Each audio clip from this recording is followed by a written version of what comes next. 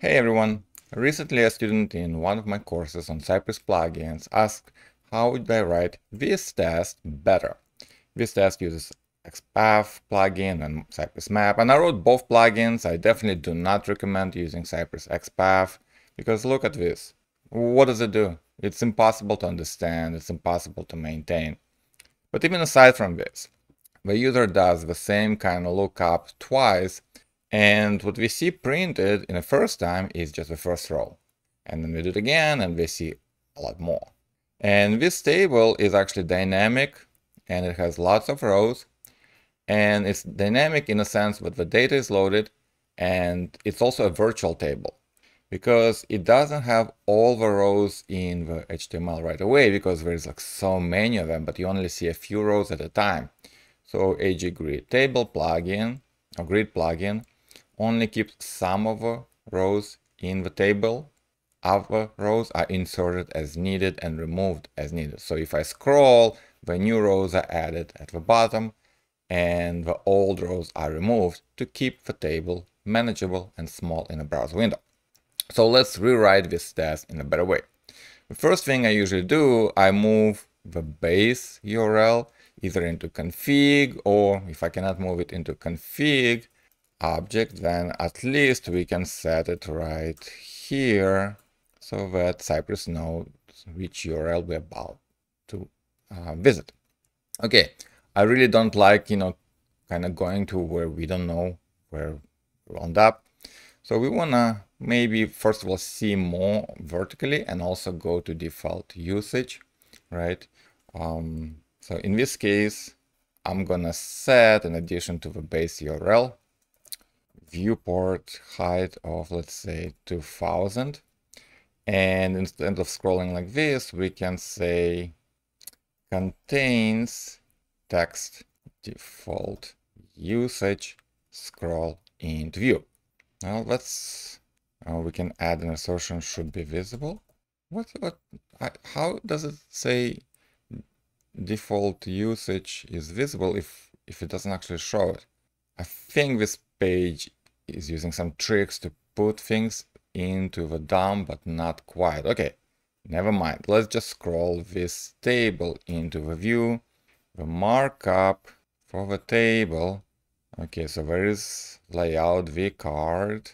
Okay, something about AG, role presentation, and then... Okay, so we see tree grid. So this table is an element with role tree grid. Okay, we can take this and we can say get all elements with attribute tree grid and let's say first should be visible and scroll into view. And for now, let's just return. Let's not run those XPaths because they're bad. All right. So we have a first table scrolled, but notice the top of the table is a little bit behind. So what we want to do when we say scroll, we want to give it an offset. So we can say left 0, we, left is fine, and the top should be, let's say, minus 200 pixels, so it doesn't scroll the table behind this fixed navigation header. Okay, so now we can clearly see the table. And we want to get the rows. Okay, so right now, instead of this weird X path, we'll say find, and, well, how does the grid render tables? So let's look at the row. We can see role equals row. Okay. Find role row. And now we need an add an assertion. Should have length, let's say above, I don't know, 5. Okay, so we got 17 rows. Now you can see the virtual table, right? So on, you see only some rows, others are behind the overflow. Okay, so instead of thousands of rows, only 17 elements.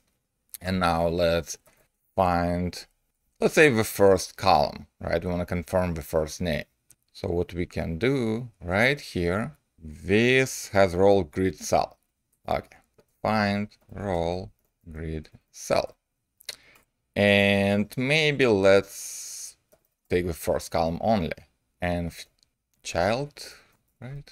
With index 1 because the index for nth child starts with 1. Okay, got the first row and 16 children, perfect. And let's map them to inner text using Cypress map. Let's print and maybe use from Cypress map at zero to get the first one. And we'll say should equal Michael Phelps. All right, first container, got the rows, got first column values, mapped them to text, all the names, and the first one is Michael Phelps. Perfect. So this is how I would write this test. I would not use XPath. I think it doesn't make any sense. Instead, we want to get the attribute that the user can use to get the elements. We want to be able to see the elements and when we scroll, make sure we still see it. And then we can use CSS and jQuery selectors as well, like nth child. And then we can apply Cypress map commands to retry uh, you know, a whole chain of queries to make sure the assertion passes, even if the text, for example, loads dynamically after a delay.